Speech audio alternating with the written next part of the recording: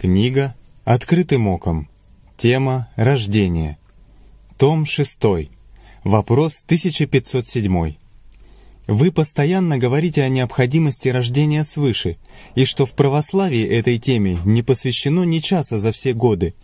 Я уже не раз слышала про то и до конца не пойму, что мне это может дать.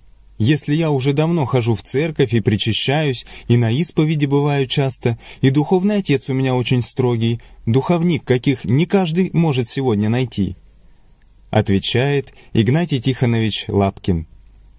Коротко, признание себя погибшим грешником, уверовать во Христа, принять Его своим Спасителем, что Он умер именно за тебя, и жизнь в Святом Духе после принятия крещения – и святых таинств в Церкви Христовой.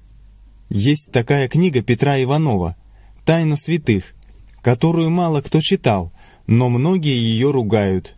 А мне она дала радость. Если вам это будет полезно, то вот выдержки из нее. Кавычки открываются. Теперь будем говорить, собственно, о рождении свыше. И что такое свет, даруемый при этом рождении. В крещении мы еще не получаем, мы еще не получаем совершенной благодати. Благодать крещения человек теряет обыкновенно в юности, говорит святой Симеон Новый Богослов и прибавляет. «И ты, Спаситель, хорошо зная это, даровал нам для второго очищения покаяния, запечатлев его благодатью Духа». Однако Дарование благодати при крещении и покаянии еще далеко не рождение свыше, то есть перерождение из душевных в духовных.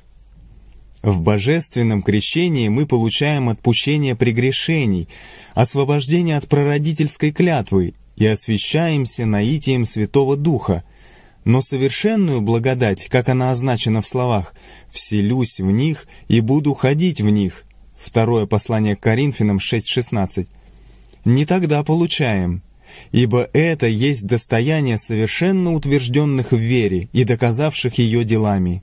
Святой Симеон, Новый Богослов. Перерождение душевных в духовных совершается в Церкви Христовой с помощью и трудами любви братьев друг к другу. Первоначальная церковь ясно сознавала, что именно в этом заключается ее назначение, ее цель. Об этом очень хорошо сказал святой Андрей Кесарийский, толкуя известный образ апокалипсиса. Жена имела в чреве и кричала от боли ему к рождению. Книга Откровений 12.2. Церковь, жена, болеет, мучается.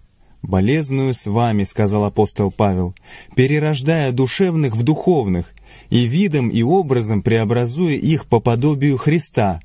Апостолы, духовные братья любят, мучаются, помогая достигнуть цели христианской жизни всем братьям. В наше время церковь до того немощна любовью братьев друг к другу, что она не в состоянии перерождать душевных в духовных. Она даже забыла, что цель христианской жизни в этом и заключается, что и засвидетельствовал Духом Святым святой Серафим Саровский.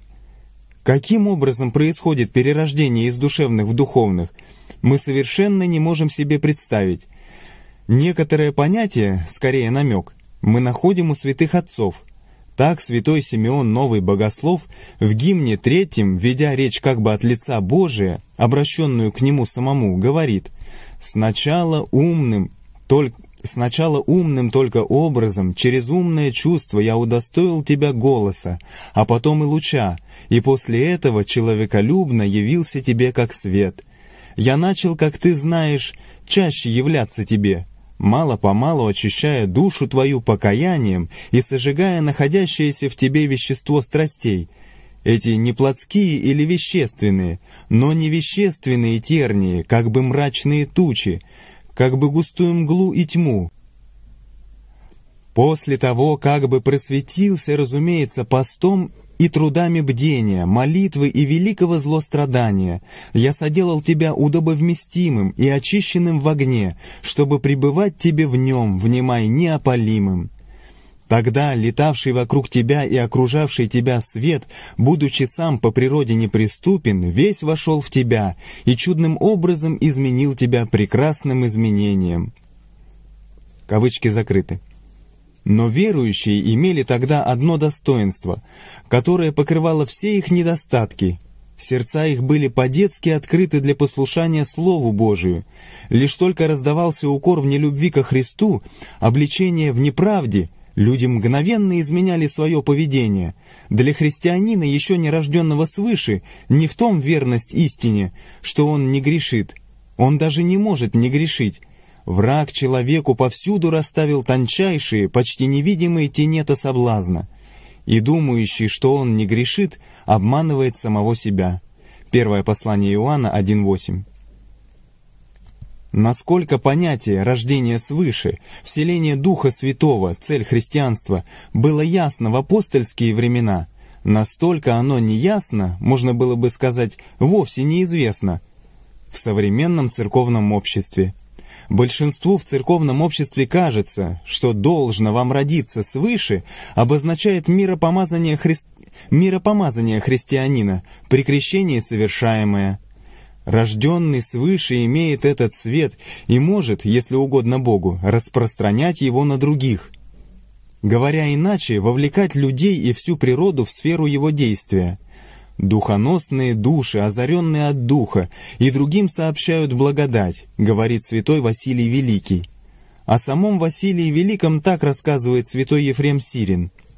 «Я видел его в храме, стоящим перед лицом всей своей паствы, и все собрание, казалось мне, сияло божественным светом благодати». Несомненно, однако, что в церкви не только будет, но и было время, когда все члены церкви жили в фаворском свете. «Церковь некогда была народом совершенным», — восклицает святой Григорий Богослов. Когда же это могло быть? Конечно, в ее самое первоначальное время, до убийства первомученика Стефана и великого гонения на церковь, то есть до рассеяния ее по разным местам Иудеи и Самарии, книга Деяний 8.1. Это время можно назвать огненным состоянием церкви. Оно не, оно не изображено, ибо как изобразить внутренний свет в душах, а таинственно обозначено в деяниях апостольских.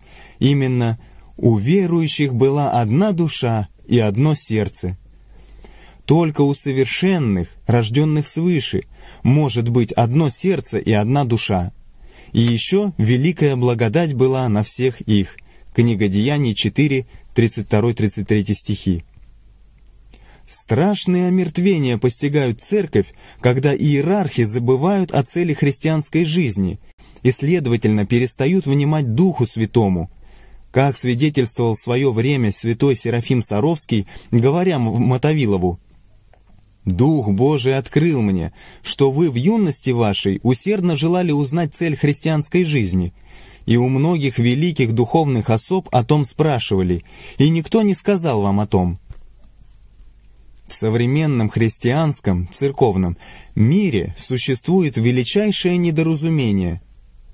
Распростран... Распространено мнение, что слова Христа «Если кто не родится свыше, не может увидеть Царствие Божие», не имеют предостерегающего значения для крещенного человека, ибо в таинстве крещения и затем миропомазания человек рождается свыше и получает благодать Духа Святого для жизненного руководства.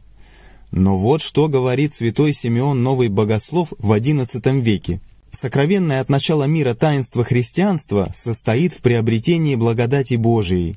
Наибольшая часть крещенных, именующихся христианами, не знает этого таинства христианства. Многим представляется, что благодать Духа Святого, полученная при миропомазании, пребывает в нас в скрытом виде. Мы сами не знаем, как она нами руководит. Всякий, живущий, в, живущий обычной христианской жизнью или даже строго христианской жизнью, почитается живущим во Христе. Но жизни во Христе нет, если человек вполне сознательно, то есть разумеет через слышание голоса Божия волю Господню, не подчинен руководству Духа Святого. Слово Христа совершенно ясно.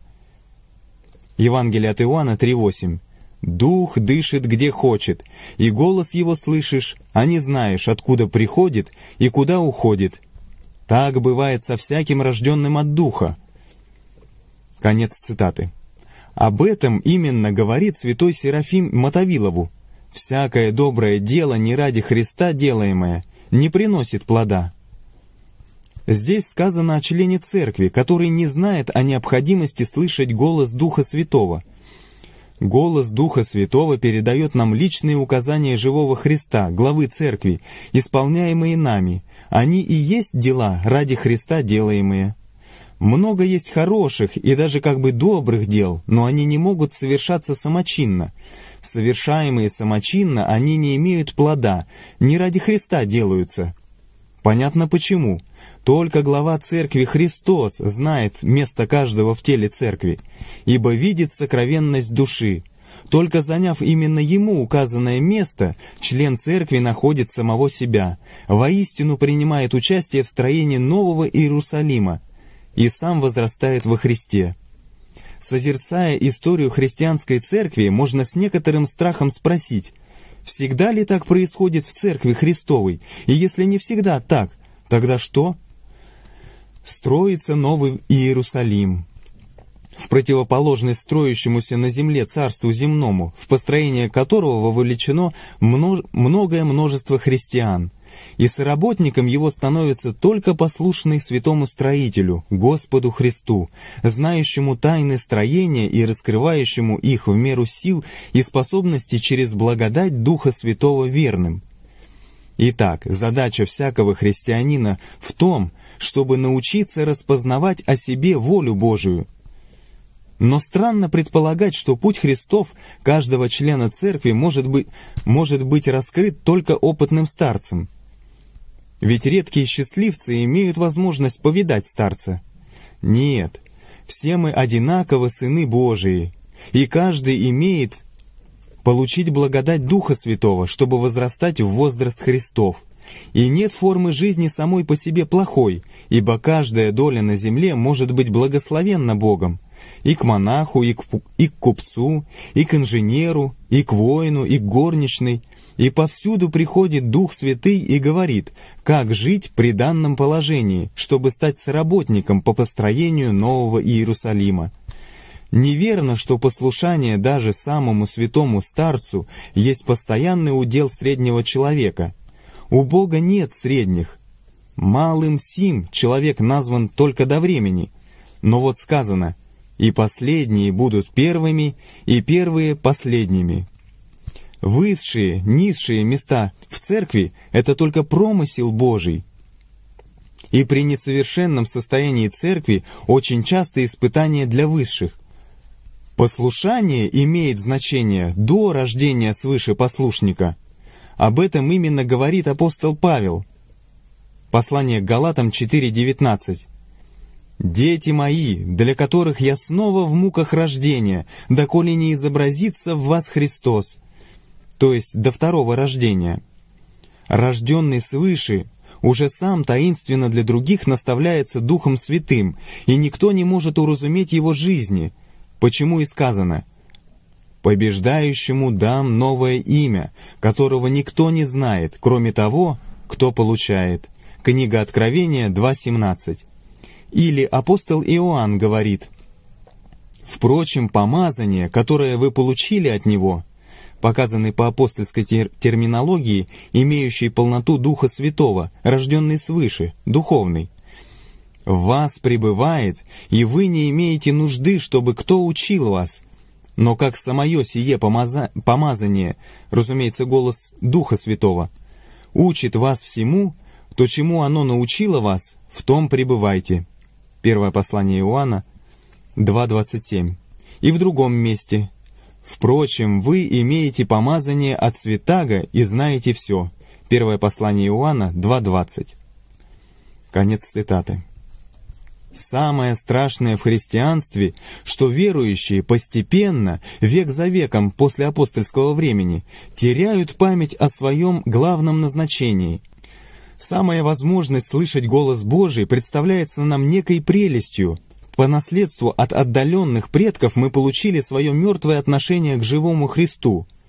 Вспомним, с какими мучительными усилиями и как настойчиво старался святой Серафим объяснить неразумевшему, ибо нам кажется неудобопостижимым понятие о явлении Бога между людьми, его голос в нас, Мотовилову, хорошему, хотя и наивному члену церкви.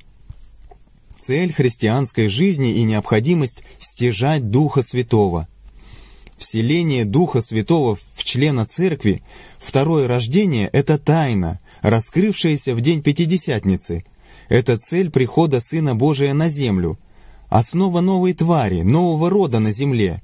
Еще при жизни своей на земле Христос говорил, Евангелие от Луки 12.49, Огонь пришел я не звести на землю, Духа Святого, и как желал бы, чтобы он уже возгорелся». Конец цитаты. Господь томился, ибо до сошествия Святого Духа, до Пятидесятницы, люди не были в состоянии начать новую жизнь. Тот, кому необходимо стяжать Духа Святого, еще не живет новой жизнью, не новая тварь. Таковы мы все, члены современной церкви, Великий святой, свидетель верный, посланный в церковь свидетельствовать истину, напомнил нам о цели христианской жизни. Но разве мы знаем, разве мы не тоскуем от глубокого бессилия и незнания, как стяжать Духа Святого?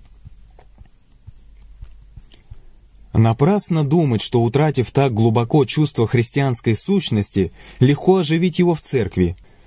Только сектанты могут вообразить себе, что стоит лишь отделиться от церкви и провозгласить себя рожденным свыше, как получишь ведение и слышание голоса Божия и станешь духовным.